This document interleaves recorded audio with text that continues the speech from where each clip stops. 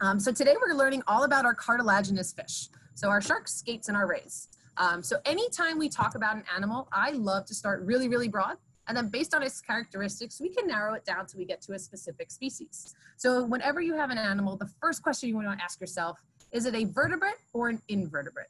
And what those two, two words mean, a vertebrate is an animal with a backbone, and an invertebrate is an animal without a backbone. So if you're not sure what a backbone is, you can take your hand, put it in the middle of your back, rub up and down. You guys feel that bumpy thing? Yeah, that's a backbone. So we are vertebrates. Now we have five major groups of vertebrates in the world. We have mammals, birds, fish, reptiles, and amphibians. So everything else is gonna be an invertebrate. And a fun fact, if we were to actually collect all of the invertebrates on land, in the air, in the ocean, and then put them on a scale, and we were to collect all the vertebrates on land, in the air, in the ocean, put them on a scale, it would actually, the biomass of the invertebrates would be so much more than the vertebrates. And that's because, think about it, when you see a cat, do you see one cat or do you see thousands of cats running around? Usually just one, right? Now, if we see, especially here in Florida, fire ants, do we see one or do we see hundreds of them crawling up your leg trying to bite you? It's definitely the hundreds trying to bite you and it's not very fun. So there are just so many more invertebrates um, size-wise because they're smaller. So when we are to collect them all and weigh them, it would actually be way more than all of our things with backbones. So I did tell you at those five major groups um, of vertebrates, one of them is gonna be fish, and that's who we're focusing on today. Um, so fish are really cool. They are actually the most diverse out of all vertebrates. So they have over 33,000 identified species. Um, so these guys, they can be found in fresh water, they can be found in salt water, and then they can be found in brackish water. Now, brackish water is going to be that mixture of fresh and salt. So usually where a river releases into the ocean. So like a bay or an estuary. Um, they all have some common characteristics that make this animal a fish. Um, so they live in water, right? Uh, they also have gills. They are ectothermic, and we'll, I'll talk about that word in a moment. They have a swim bladder. They have fins. Their skin is covered in scales, and they have at least six senses. Um, now, if we were to compare that to mammals, which is what we are, we don't live in the water, right? We live on land. We breathe using lungs, not gills. We are endothermic, and I'll talk about that in a moment. Um, we have appendages like arms and legs, and our skin is covered in hair or fur, right? And we only have five senses. So ectothermic and endothermic, they're just big fancy words for cold-blooded or warm-blooded. So ectothermic, like our fish here, that means they're cold-blooded. So what that means is that their internal temperature is going to be doing whatever the external temperature or outside temperature is doing. So especially here in Florida, we get like four cold days in the wintertime. And it's not that cold, but it's relatively cold for us because we're babies at this point. But when it does get cold, when it cools off at nighttime, we'll see in the morning, we'll see our snakes and our gators and our lizards and our iguanas sunning themselves, getting nice and warm so that they can get their body temperatures up and then start their day. Now that is way different from us, right? Because when we get cold, our body's like, I got this, watch this. And it starts shivering, right? So as you get cold and you shiver, that's actually your body's way of trying to generate heat. And right now, as I'm in hot, sunny Florida, I'm getting too hot and my body's like, I got you, Carly. Look at this response. And I'm actually starting to sweat. So as I sweat and then that sweat evaporates off of my body, it actually cools me off. So our temperature as endotherms or as warm-blooded mammals, we stay at a certain degree, 98.6-ish, give or take. And any, if we fluctuate up or down, our body's gonna have a response to get us back to that 98.6 because that's where we like to be at. So for our fish, we actually have three major groups within the fish uh, uh, category. So we have the most ancient, which are gonna be our jawless fish. So if you look at this kind of scary photo on the top left, uh, that is going to be our jawless fish. Then we have our cartilaginous fish. So our shark skates and our rays. And we'll talk about what makes them a cartilaginous fish. And then we have our bony fish or the osteichthyes. So these guys are gonna be the most common type of fish. So if you're out in the water, especially here in Florida, they're all silver basically, unless you're out on the reef. Um, so all of the fish that we're kind of used to, that's gonna fall into our bony fish category. But since we are talking about the cartilaginous fish today, we're only gonna focus on them. Um, and it, I'll touch really briefly on the sharks, or sorry, excuse me. I'll touch really briefly on the skates and the rays, and then we'll get into the good stuff, which are the sharks. So if you guys are ready, we're gonna keep on rolling. Um, so again, there are just some common characteristics that make a cartilaginous fish a cartilaginous fish. Omri, yes, that photo, if I go back one, if you want to, there we go. This photo right here was a tiger shark, good eye. um, that has those prominent stripes, just like a tiger. Scientists, we're not very creative with them. Sometimes we are creative with the names, but sometimes we're just like, to the point, this is what it is. So good eye. Uh, so one thing about the cartilaginous fish is that they've actually been around in the ocean for millions of years. So sharks have been around for over 450 million years, and skates and rays have been around for about 150 million years. Um, skates and rays are often referred to uh, as like pancake sharks just because they are very similar, but they're just flat. And we'll talk about some of their adaptations. So the thing that sets these guys apart from the bony fish is what their skeletons are made out of. So they actually have cartilaginous skeleton. Um, so we have cartilage on our bodies. Does anybody want to type in the chat where they think us humans have cartilage in our bodies?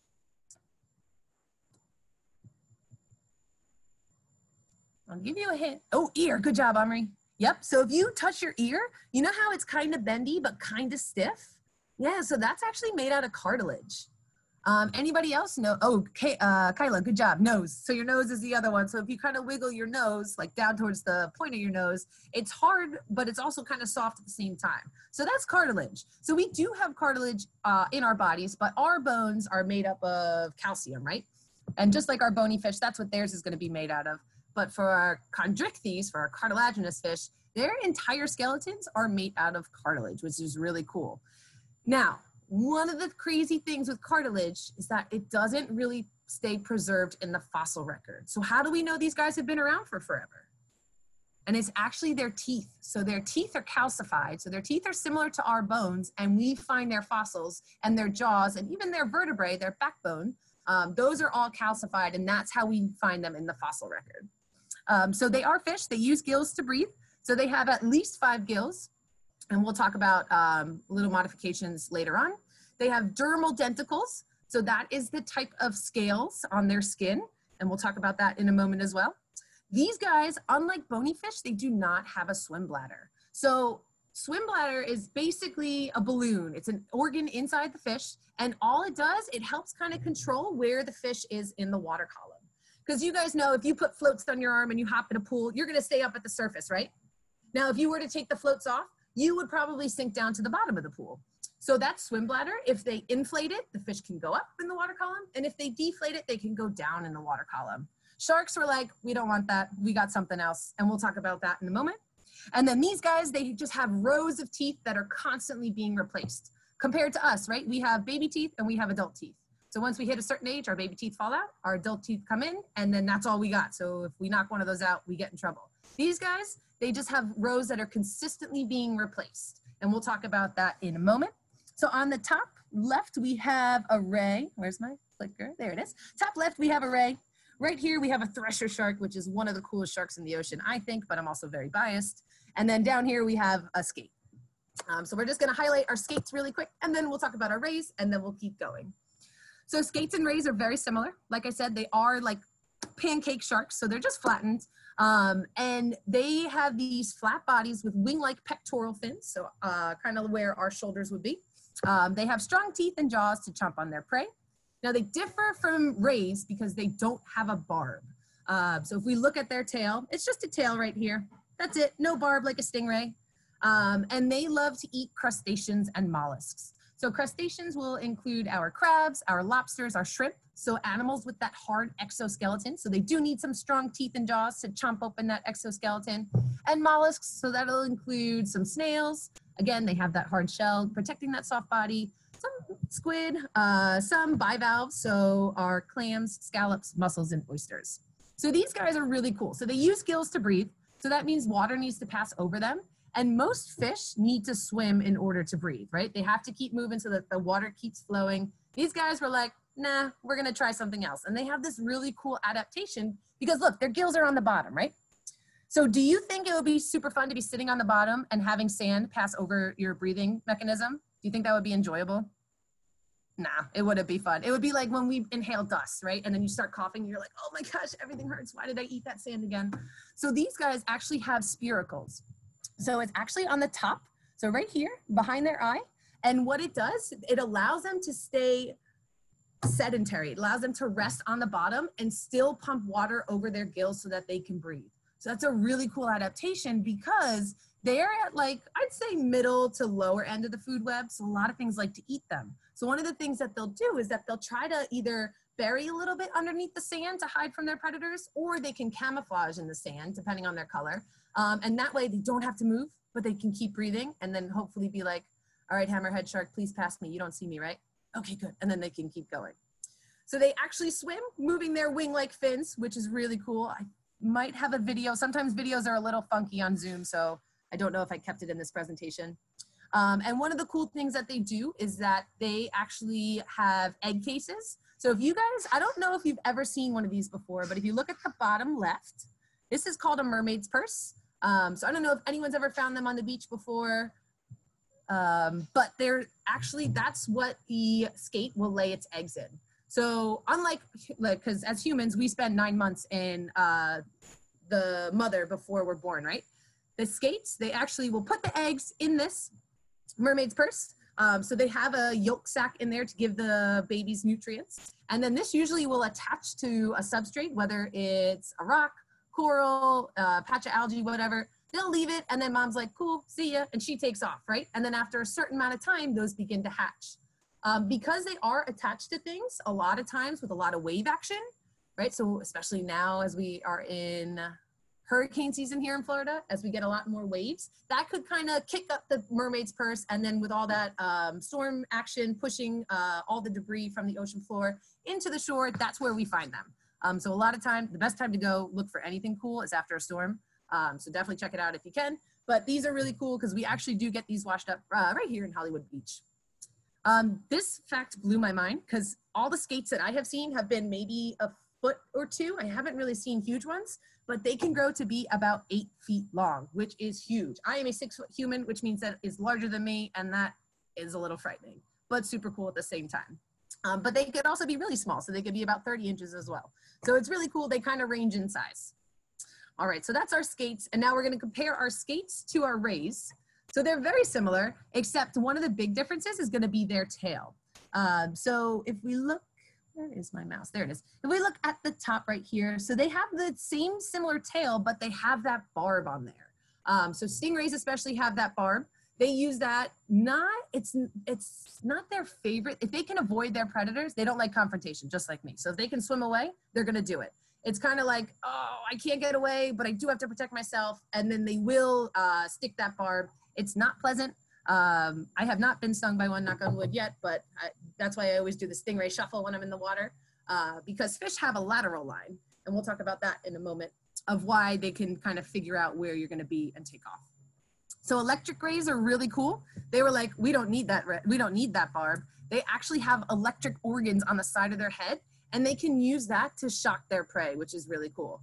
I didn't know electric rays existed and i was uh, over on the west coast of florida where it's the gulf of mexico so it's a little bit shallower so you can walk out for like 40 feet and you're maybe up to knee high water. And i was following a ray because it was beautiful. It's actually this ray right here.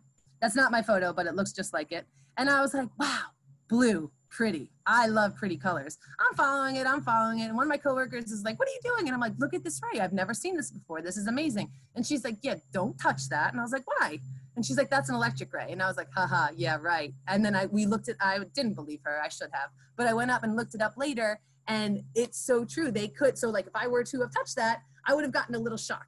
Now again, I am a six foot human, so it wouldn't hurt me that bad. It wouldn't feel pleasant, but it wouldn't hurt me. But to like a tiny fish or to a tiny crab, that's not gonna feel very pleasant.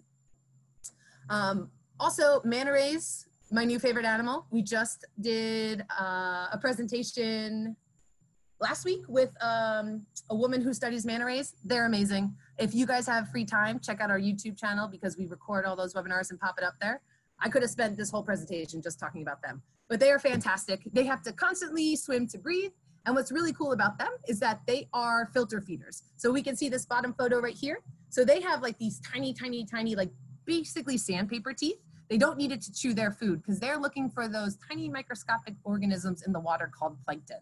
So like our whale sharks, um, like baleen whales as well, when they open their mouth, as the water flows through, they can pick out those tiny particles. They also have that water flowing over their gills so that they can get the oxygen. And then they close their mouth when they're done. Uh, sawfish, these guys are really cool. Um, they're the funkiest looking fish I've ever, uh, one of the funkiest looking fish I've ever seen. Uh, but they have that really long rostrum and we can see all these little teeth coming off on the bottom left photo. Um, and they just use that to feed so they can impale their prey or they could use it for defense. Now these guys do a, a little different of a birthing strategy. So we saw in the skates, they made this egg case. And for these guys, viviparous means live birth. So very similar to us, they'll, uh, baby manta ray will be hanging out in mom's stomach for a certain amount of time, and then she will give birth and it's not full grown, but it is quite large. Um, and it goes off and it does its baby manta ray thing. All right, now if anybody has any questions, feel free to drop it in the chat. I'm just gonna take a quick look. I missed anything? Oh, you've held an eagle ray, very cool. In Cuba, very cool. Nice. Um, Carly, I'll just add here that uh, some of our participants who have done our junior marine biologist program before, so we did it the last two summers, have actually got to see and hold and tag skates. So some of them oh, are no actually, way. yeah, quite uh, familiar with skates. And I think there's probably quite a few girls because in Nova Scotia and New Brunswick, it's really common to have the egg cases and the mermaid's oh, no. purses wash up on the beach. So I'm oh, sure cool. there's quite a few girls that have seen that before. Cool. Oh, good. I wasn't sure. I was like, do they go that far north? I was like, I don't know if they wash up that far north, but very cool. Yeah. All right. So now we're getting to the best stuff. If we're ready, if it wants to go. There we go. So sharks, right? That's what we're all here for. We do love our skates and our rays, but realistically, we love the sharks. Um, these guys are really cool. They range in all sorts of sizes, and I'm gonna kind of highlight some of the most important things, which I think is everything about them, but bear with me. Um, so for sharks, we have over 500 identified species of sharks. So the, lar the smallest shark is gonna be the dwarf lantern shark. So if you look right here, so it's about the size of someone's hand, um, found in deep, deep, deep dark waters. And then the largest shark is gonna be a whale shark. So if we flip back to here, this guy right here in the middle, um, they can grow to be about 43 feet long. So if you guys are familiar with American school buses, it's about that size. Um, so they can grow to be really big. And the thing that blows my mind is that they're the largest fish in the ocean, but they eat the smallest things in the ocean. Uh, so they eat that plankton, they eat those tiny microscopic organisms. So they've been around for over 450 million years. And like I said, the calcified teeth and backbone is how we have found them in the fossil record. So right here, and their jaw as well. Um, so here is a really good example of a shark jaw. Um, also their vertebrae we can find, and we can actually figure out how old a shark is based on that vertebrae. So if we were to get one piece, one vertebrae, it's very similar to a tree. So you know how we count the rings of a tree we can figure out how old a tree is? Very similar for these guys as well. Um, also major things that happen, um, specifically when uh, during World War II, when the US dropped um, the atomic bombs, that actually was stored in some of the sharks in their vertebrae. So you can actually see it and then they can actually get an exact date, which is super cool. I tried finding a photo of it, but I couldn't find it. I think I have it somewhere saved on one of my, when I was a student, one of those presentations that I had to sit through. Uh, but they're really cool. And most sharks are gonna be apex predators which means that they're at the top of the food chain. They're at the top of their food web. Nothing really goes after them. And they are very important because they actually maintain the entire uh, health of the food web. Because we know we have levels, right? Now, with anything, if you do too much, it's probably not good, right? So if we have too much seagrass growing or too much algae growing, that's gonna uh, throw off the food web. So the sharks just kind of keep the big fish population in check which then keeps the little fish population in check, which keeps the crab population in check, which keeps the algae population in check. So nature is this super complex puzzle, but everything has a role, everything kind of fits. And anytime it's messed with, like we know, whenever you try to jam a puzzle piece where it's not supposed to fit, it doesn't look right, right? So just like with nature, anytime it gets tweaked or altered, there's gonna be effects somewhere. So sharks just kind of help keep that nice and functioning, keeps everything in check, which is really cool. Um, so they actually have seven senses. So we only have five as humans, so I feel like I'm a little left out and I'm a little upset, but I'm trying to work on the lateral line. It's just not working out for me. But they have the same five that we do. So they have touch, taste, smell, hearing, and sight. Um, so for touch and for taste, they obviously have to be in immediate contact. Um, so for touching, a lot of times they'll, especially if you hear anyone who encountered a shark, in a kayak or a paddleboard or a surfboard, they always say, oh, I felt something bump up against me. Because they're just like, we don't have thumbs. I got to figure out what you are. So they bump up against just to figure out what's happening. And then sometimes they'll just do a little nibble just to be like, Do I want to eat you? And when they take a bite of a human, they're like, oh, gross, high fructose corn syrup. I don't want that. And they spit us out because we're disgusting. They don't want to eat us. We, they just don't know what we are because we have legs. Now the next really cool, this one is, uh, this one is only that the sharks and the skates and the ray have it. It's called ampullae of Lorenzini. So it's these tiny jelly-filled pores that cover their head and their snout. So if you guys can look at this top right photo, it looks like freckles, right? So it's all near their face. And what it does, it actually can detect electrical currents. Now, really quickly, if somebody wants to take a guess, what do you think in your body, so you have it right now, what do you think in your body gives off an electrical current? This one's a little tough, but you need it to survive. And you don't even have to think about using it. It just does it. Oh, I got some answers. Oh, Madeline. Yes. Heart. Excellent job. Nice. So every time your heart beats, it actually gives off this little electrical current. Um, so this is kind of like a built-in metal detector, more or less. Um, so remember how I told you those skates and those rays like to hide in the sand? Hammerhead sharks love eating stingrays. That's like their third favorite snack.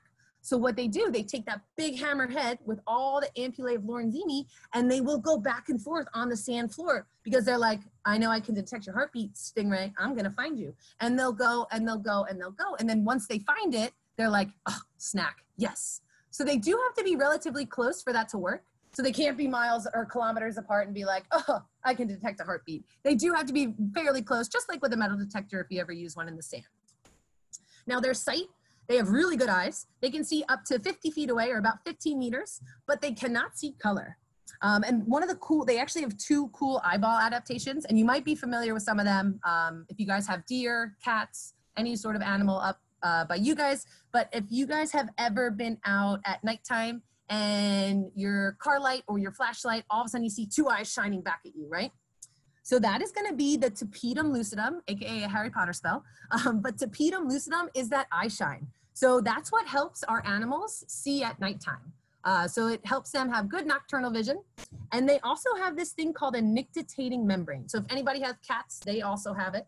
Um, so it is acts as a shield for their eye. So if you can look right here on the bottom right photo, see this eye, how it's mostly covered in white? that's that nictitating membrane. So they do it a lot of times when they go to bite because they can't then take their fins and cover their eyes, right? They can't cover their eyes like us. So what they do, that little membrane covers their eyes as they take a bite so nothing pokes them in the eye, which is really cool.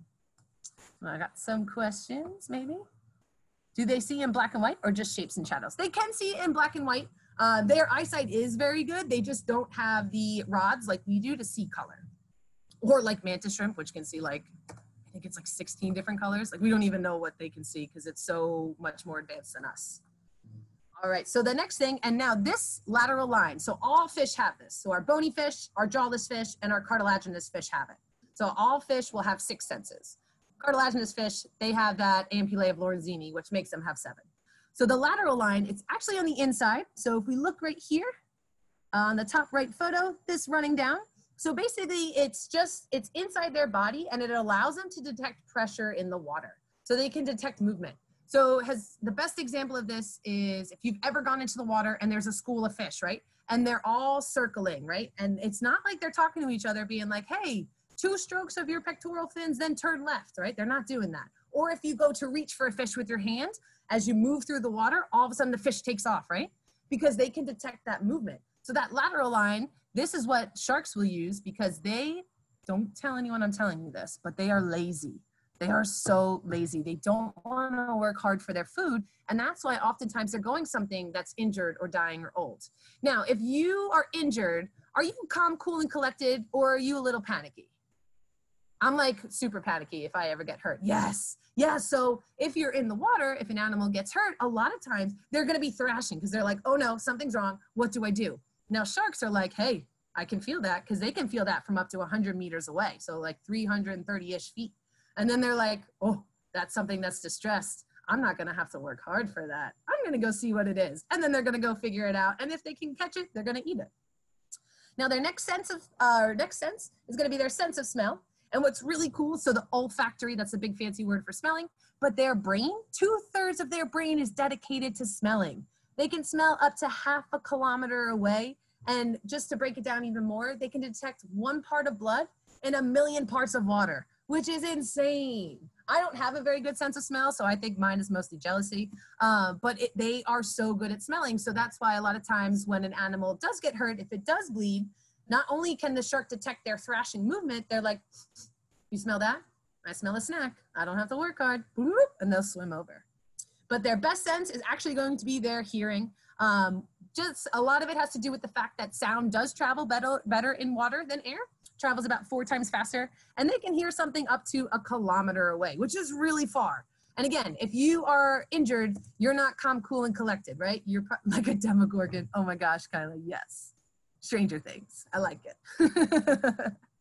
That's amazing. Um, so it's it's kind of cool how they'll use all three of these senses at once if they're far away from an animal that's injured.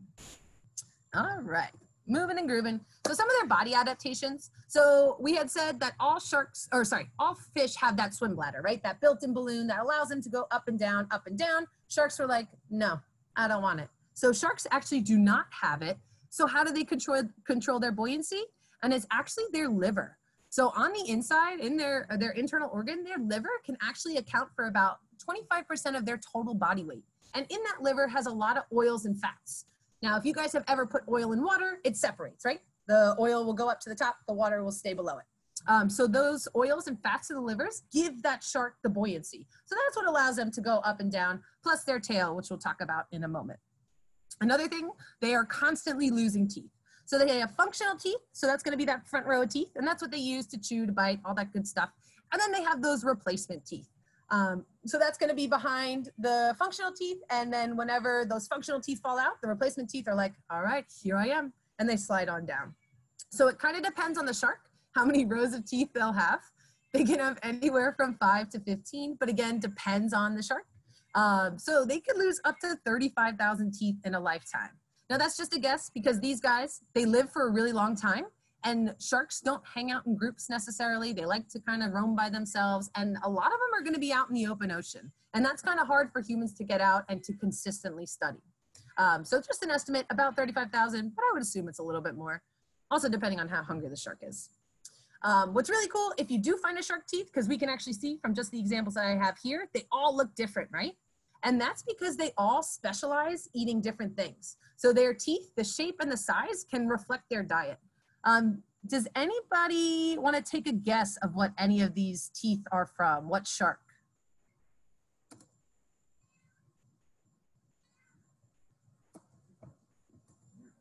Anybody want to take a guess? We mentioned, I think it was Omri mentioned the one shark earlier in the beginning of the slide. It's like a cat. It's fierce. Yeah, tiger shark. So if we look right here on the bottom right, this is gonna be our tiger shark tooth. So not only is it super sharp, look how all the jagged mark or serrated edges to it. So those teeth are used for tearing into things. Um, up here, these kind of scary looking teeth, uh, this is actually from a nurse shark. So nurse sharks are really cool. Uh, they actually like to rest on the bottom of the ocean floor. Uh, they also, so like I said, most sharks have to swim to breathe. These guys were like, no, no, we also have those spiracles like our skates and our rays. So they'll hang out on the bottom and they'll pump water over their gills. Uh, they have these teeth. They love to eat crustaceans. So they just need teeth uh, sharp enough to crack open uh, those hard shells to get the soft body animals on the inside. Uh, Madeline says, is the small one from a great white? Madeline, what small one are you talking about? The full left or the middle? Middle. Ooh, good guess. It is not, but what about this one right here? Do you think this one's from a great white?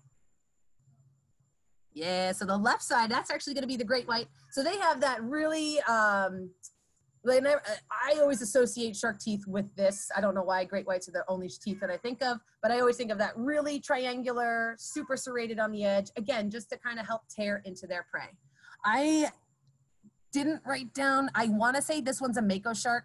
I'm not 100% sure. I didn't write it down. Ooh, lemon shark, maybe. It might be lemon shark. I, I, I'll go for it. I like sea cucumbers, so I, they only have five teeth. I don't have to worry about them. 500 species of teeth is just too much for me. But I'll have to double check on this. I know I have it somewhere. I just, I didn't put it in my notes, unfortunately. But so we can see those four different species, they have four different teeth four different types of teeth because they all specialize on eating different things. So another thing, um, so their body shape really helps them swim.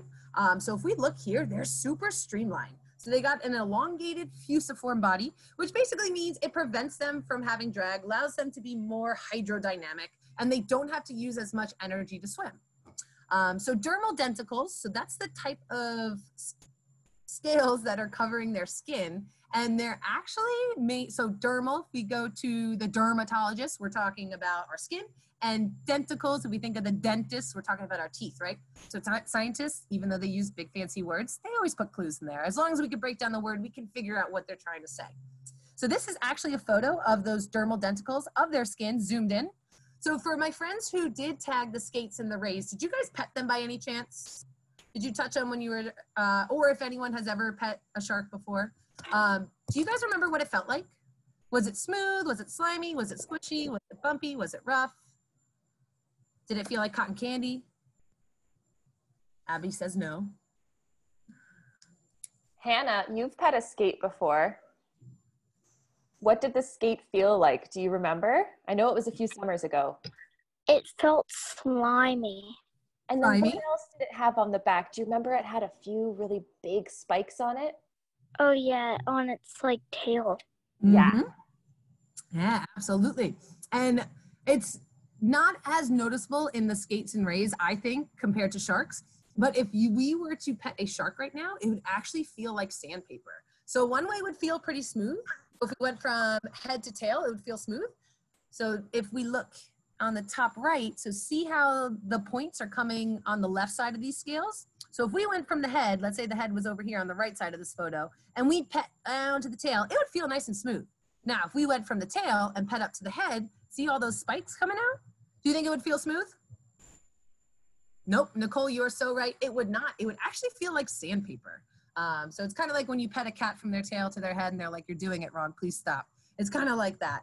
Um, so these are really cool. It allows, so because um, the way that these scales kind of overlap, it allows the shark to be more streamlined in the water as well. Again, kind of prevents drag. Um, really cool. They're actually doing research, um, trying to mimic the dermal denticles uh, for wetsuits uh, for surfers. I don't know about swimmers because I feel like that's got to be cheating. But I don't know. I don't make the rules. Uh, but they're actually trying to figure out a way that we can make something, a material, whether it's neoprene or somehow make our own dermal denticles to help swimmers or to help those wetsuits make people more streamlined in the water. And counter shading. So this is a really cool form of camouflage. So basically what it means is that this photo does a great job of showing it. If the top part of the animal, so if we look right here in the middle on the right here, we see that defining line, right? We see darkness on the top and then it's light on the bottom. Now that's for a reason.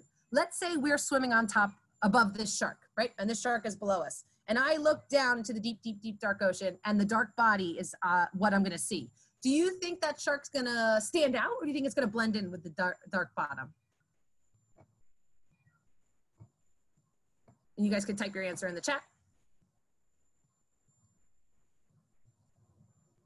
Anybody wants to take a guess. Blend in. Good job, Omri. Absolutely. It's going to blend in. Now, let's say I decided to free dive and I dove down to the bottom to see if I could find an octopus. And as I'm, and there's a shark above me, not coming after me, but just swimming because it's the ocean, it's his home. And I look up and that white belly is up at the top of the surface where the sun is shining in. Do you think it's going to blend in? Yeah, Abigail, absolutely. Oh, Omri, it actually will blend in. Oh no, you're not gonna scream and run away. You guys should be more afraid of your kitchen toaster than a shark. And window blinds and playgrounds and barbecue grills. I could keep going. There's so many things. Um, so this is a really good way for a shark to kind of camouflage, um, use their body to either avoid predators if they're a smaller shark, or if they're a larger shark, kind of sneak up on their prey item. All right, and now the one of the last things are their fins. Um, so their fins really help provide stability and balance in the water. So it's very similar to an airplane. Um, so those pectoral fins, so the ones we see in the front, so right, oh shark, you're moving too fast for me. Look at that mako shark right there. So just kind of provides them um, direction and then can kind of help with the lift, just like an airplane flies. And then the caudal or the tail fin, that's the most important fin on this shark. Um, and that's what propels them through the water. So most sharks have uh, the upper part of the caudal fin is longer. So just like this thresher shark right here, see how that top part, now that's excessively long. They're usually not that long, but these guys have that really elongated caudal fin. And you can see it's actually using that to stun their prey. So see how it flips it over its head to stun their prey and then to gobble up the snacks. I'm gonna scoot back to this slide really quick just so we can see.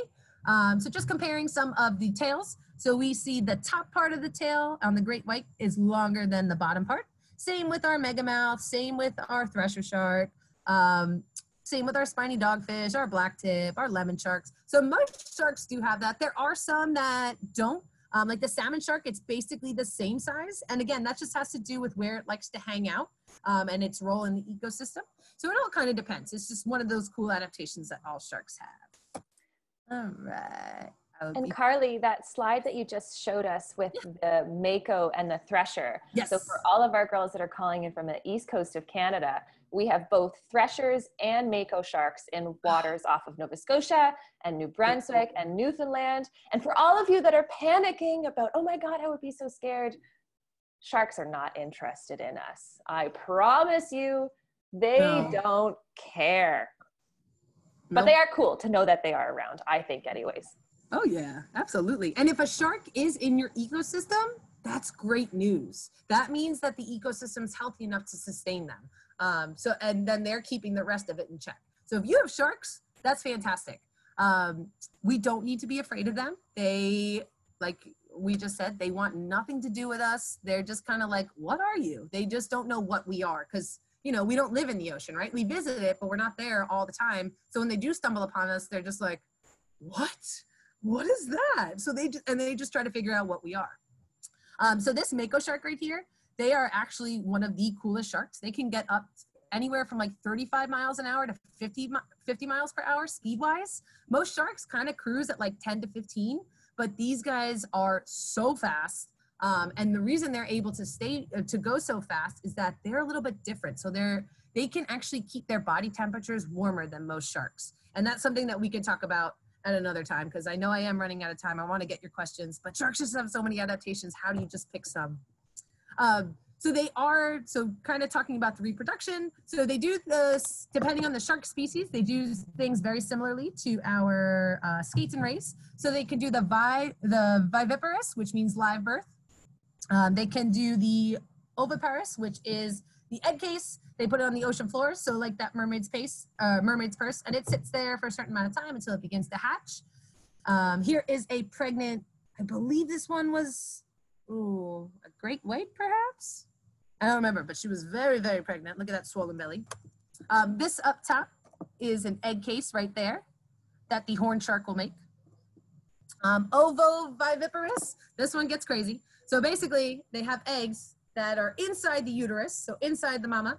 Then the eggs hatch, and then they kind of feed on each other, which is a little messed up. So they kind of go after their siblings. Um, so the great whites will do it, nurse sharks, tiger sharks, pelagic thresher sharks, Greenland sharks. Um, that's kind of a little messed up, I think. But hey, survival of the fittest, right? They start start them young, teach them young. Um, and then this one is the craziest. This is called parthenogenesis. And this is when a female can actually give birth without coming in contact with a male. Um, so they have documented it in a couple sharks, so the bonnet heads, the black tips, and the zebra sharks. I know for sure they've documented it in aquariums, that they've seen it happen and they don't know why. Um, I don't know if they've documented it out in the wild yet, but it's just, it blows my mind. I still don't understand. I'm like, why is that? A, I understand why it's a good option because, like, if you don't find a mate, well, okay, I can do it by myself but like I just don't understand if there is a mate because the zebra shark, I believe the aquarium was over in Japan where they documented it. There was a mate in the tank with her, but she was like, no, because they tested the DNA and it was all from her. So that just blew my mind. She's like, I don't need you. I got this. I'm a strong, independent woman. I like it though. Um, down here on the bottom left is actually, I believe that is a nurse shark. Yes, so that is a nurse shark giving birth. Um, this was like one of the few times that someone actually was able to record this happening. So sharks, like I said, they like to hang out alone. Sometimes they, they just don't want anything to do with us, right? And a lot of them are gonna be out in the open ocean because they do, they swim for a very, very, very long time. So we just don't know a lot about them because they are so mysterious. They do like to hang out by themselves. And if they come across us, they're like, eh, goodbye, and they take off. Um, so this was a really cool thing that scientists were able to do.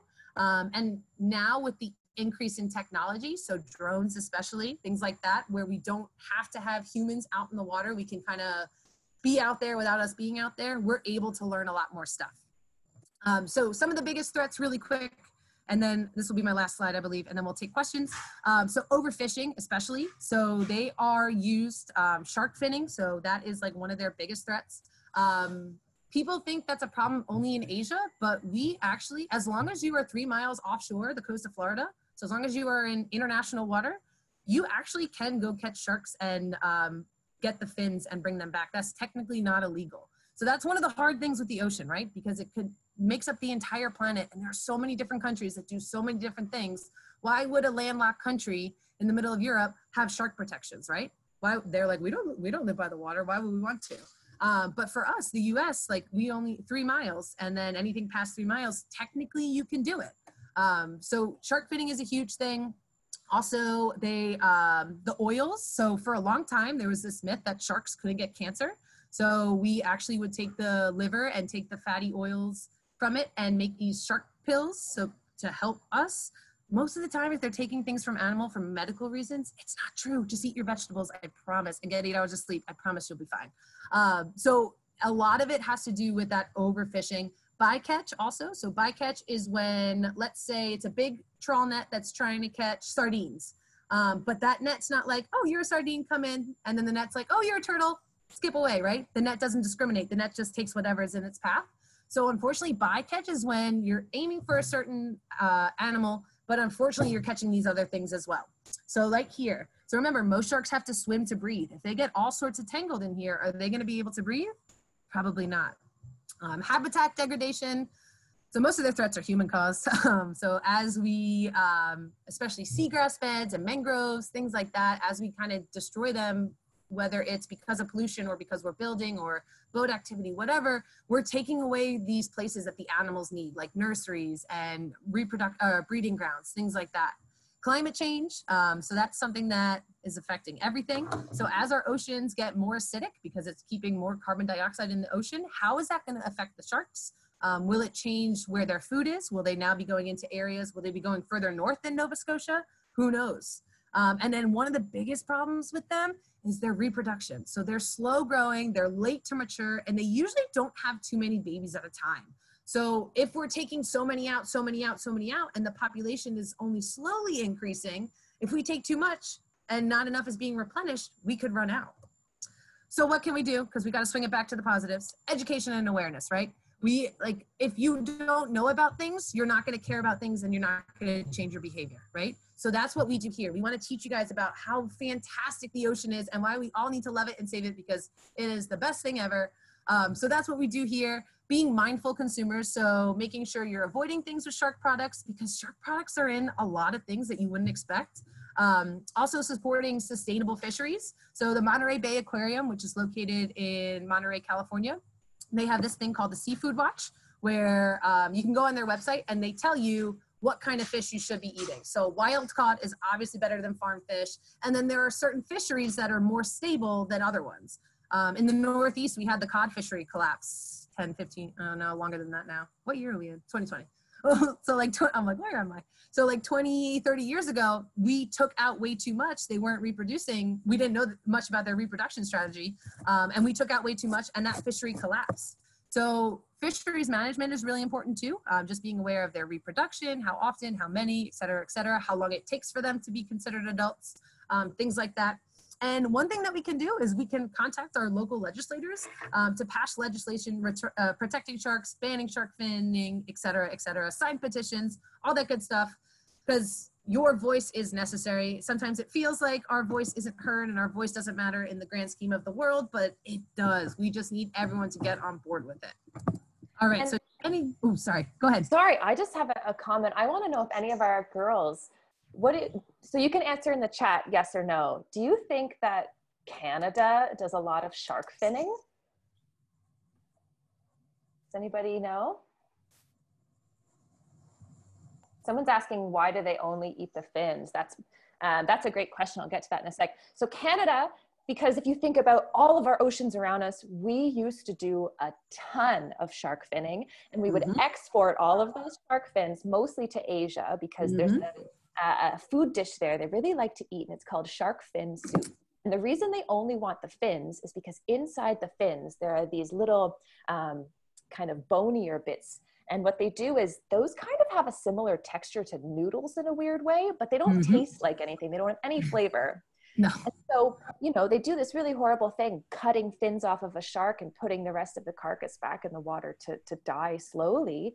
And then they take this shark fin, they dry it out, they turn it into a soup. But the weirdest thing is that because there's no flavor, they have to flavor it with other things. So they put like chicken stock and beef bits in it. So it just doesn't make any sense to me. Right? Just But- What's amazing is that just this past year, Canada banned the export of uh, shark fins. So that's a really, really amazing thing for Canada to have done. That means that uh, you can't sell shark fins to other countries around the world if you're in Canada. So I just wanted to mention that since all of us are, are calling it. That's awesome. Yeah, and like you said, yeah, there is no flavor to those cartilaginous noodles. Like they have to add the onion, the garlic, the spices. They have to add all that stuff to make it delicious. It is considered a delicacy over there, so it shows um, your class and wealth status. But you could just put like glass noodles or spaghetti noodles, and there's no difference because there is a no medical benefit and b no taste. Um, and then, like you had said, so they cut the fins off and throw the shark back. Now, what what did we say that sharks need to do in order to breathe? Swim, right? So if you're cutting the fins off and throwing the shark back, what do you think is going to happen to that shark? Yeah, it's not good. Um, so a lot of it is just people. So I blame Jaws, that movie. It's all its fault, really. So in the 70s, when that movie came out, it made everyone terrified of sharks. And we kind of viewed them as these man eating machines. Like that's the, oh, they only want to eat humans, right? So they have that negative, negative stereotype. And that movie just kind of ruined it for everyone because now, like immediately, we're from a young age, we're like, oh, we're scared of sharks. I don't want to go in the water because there might be a shark. But like, they want nothing to do with us. Like I said, kitchen toasters, uh, playgrounds, barbecue grills, uh, roller coasters, snakes, dogs, those are all more dangerous. Sharks kill anywhere from, I believe it was seven people last year. I think it was five in 2018. So less than 10. We kill over 100 million sharks every year. And that's a very generous estimate. I've heard up to 500 million sharks. So it is insane the amount of sharks that we are killing because they really don't want anything to do with us, but they are such a crucial piece to that nature puzzle out there. And if we take them away, that's just going to cause all sorts of other issues within that marine food web. So, does anybody have any questions? I know we're kind of getting towards the end of time. I just want to make sure I heard everyone who wants to say things. Who can we write letters to to support banning shark fin harvesting? So, uh, as I mentioned, that's no longer something that really happens very commonly in Canada because we cut it out. Um, but in terms of other countries, I mean, I don't know. Do you have an answer for that, Carly? Like in the States, it's still legal. Yes, yeah. So we would have to write to either our local um, county members or write to our, our government all sorts of layers. Um, we could also write to our Congress representatives, whether it's the House of Representatives or the Senate. Um, yeah, unfortunately, Florida's a little bit behind on the times. We're not as progressive as we think we are. So Actually, here's something cool you can do. If you travel to different parts of the world, let's say you go to Asia, so Japan, South Korea, China, um, those are the countries that they do a lot of shark finning. Um, it's really easy to actually, while you're there, kind of go into a little shop and find shark fin soup. So, perfect thing that you could do if you come to this is don't order it, don't buy it, right? Every time you buy something, you spend your money, you're voting. You're saying i'm okay with this practice. I'm okay with this. So you can discourage friends from doing that. You can make sure that you're not supporting it. Um, if you learn about some of these like weird uh, carly showed a, a, a photo of a bo- bottle of shark liver oil pills once again that doesn't do anything at all. People have just read the wrong information or someone's tricked them. So I think what Carly said that's great is awareness, right? So you guys now have more knowledge than probably a lot of the people around you about shark stuff. So now you have the ability to educate other people.